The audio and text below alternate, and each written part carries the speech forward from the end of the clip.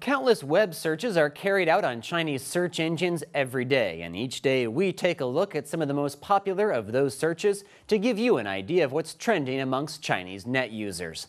Our first top search today is from Baidu.com, which is quite the eye-catching bikini skiing contest.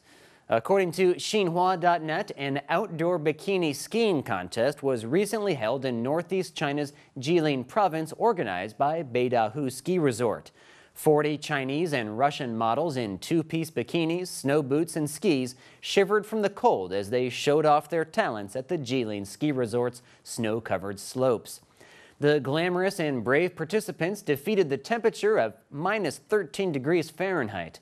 The Jilin Tourism Bureau's Deputy Party Secretary Meng Li Ru said that they were promoting the ski resort and the image of Jilin Province through bikinis, costumes, and fun.